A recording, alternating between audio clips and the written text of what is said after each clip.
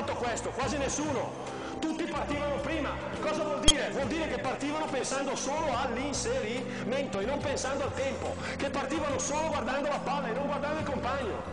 Invece questo inserimento è relazionale, è in funzione del compagno, come deve essere sempre in un gioco del calcio. Ecco perché le punte incrociano, Ecco perché gli esterni si sovrappongono, ecco perché esiste il velo, ecco perché c'è il blocco, ecco perché ci sono le situazioni e le combinazioni a 2, 3, 4, 5 giocatori, ecco perché durante questa progressione ho strutturato ed destrutturato sempre il rapporto palla-giocatori, abbiamo giocato a 2, a 3, a 4, a 6 e fra poco giochiamo a 8.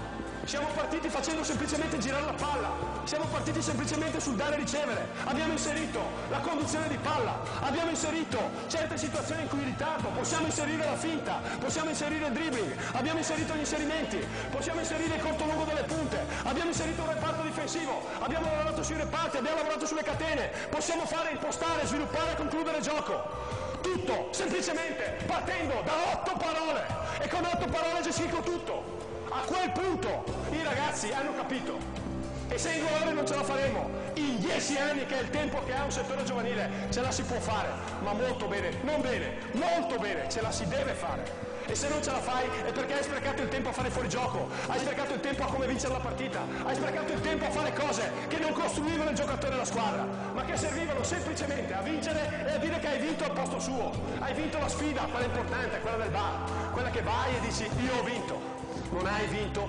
niente.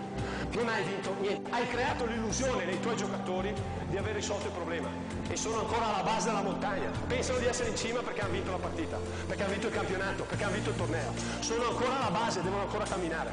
E là l'ossigeno è poco e non li hai preparati. Quando arrivano là e non hanno la maschera d'ossigeno, devono tornare indietro.